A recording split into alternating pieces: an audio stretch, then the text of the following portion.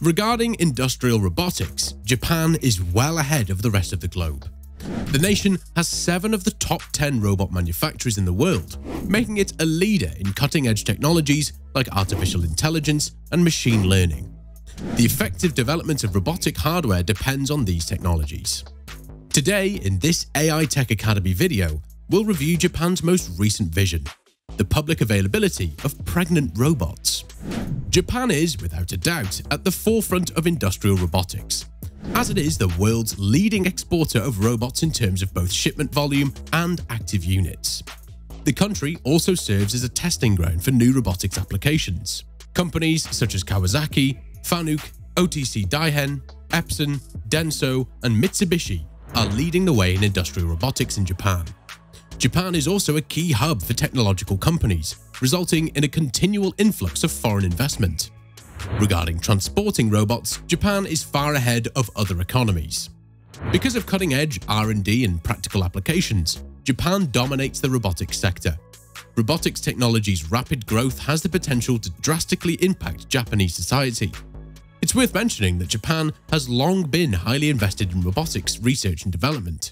And since the 1970s, the development of industrial robotics in Japan has been underway. The electronics and automotive industries were among the earliest adopters of industrial robotics. Industrial robotics are also proved essential in other sectors and workers' physical workloads. Today's big revelation is that Japan is not only a robot capable of bearing children, but it is available to the public too. A fully functional robot wife is now up for grabs in Japan, and she may be yours for the right price. Considering that the gadget costs 345,000, you might decide against purchasing it.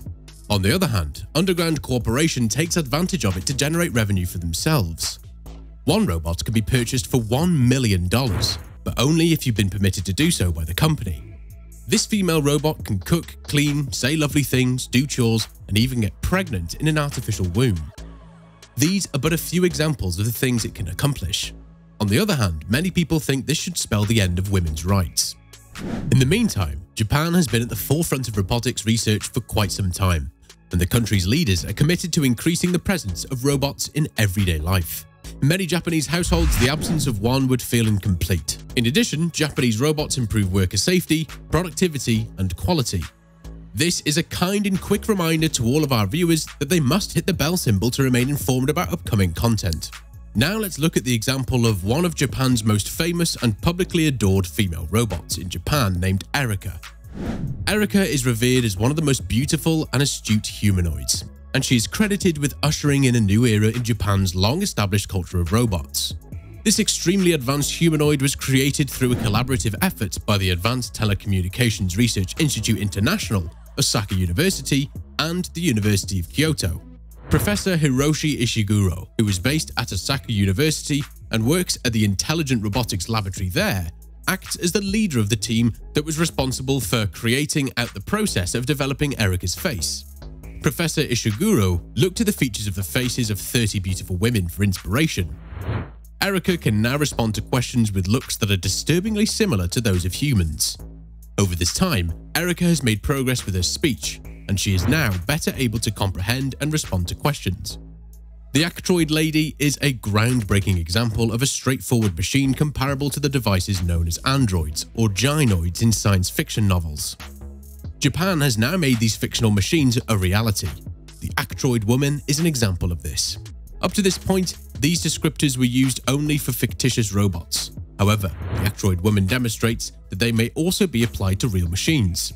The Actroid F telepresence robot has the additional capability of imitating a range of crucial functions, such as blinking, speaking, and breathing, amongst others.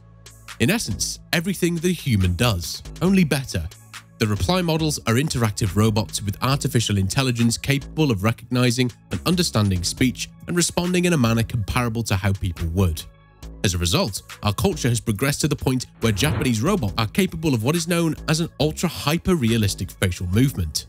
They focus on even the most minute details, such as the slightest frowns, smiles, and right and left glances. Yet, as the number of female bots increases, people have increasing the innate fear of non-living creatures moving in human-like shapes. This phenomenon, known as the uncanny valley, describes the feeling one gets when one sees a non-living thing mimicking human behavior. On the other hand, Japanese technology will never disappear. Let's say that it's something that nature has implanted in us. It is not feasible to avoid being exposed to it. The phobia can be overcome if the shape is designed to be substantially more beautiful than is physically impossible. Recent developments in hyper-realistic skin have been the subject of much interest due to this.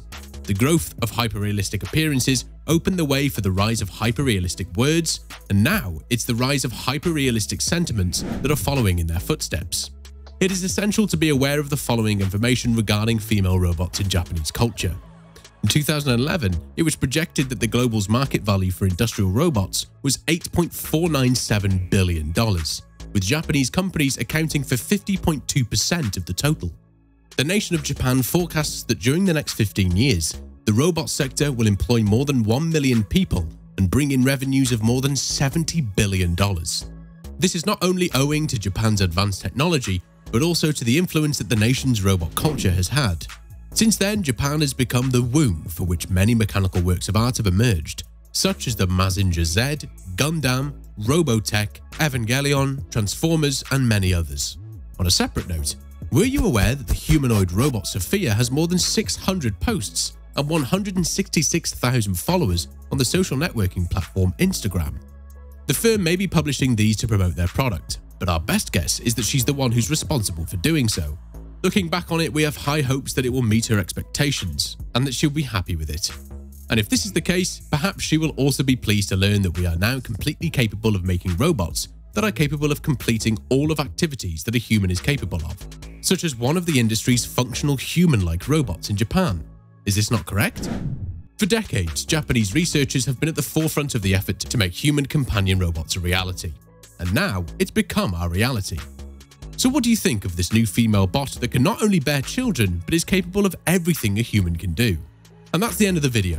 And now, if you found the content helpful, remember to give this video a thumbs up and subscribe to our channel, AI Tech Academy, for regular content just like this.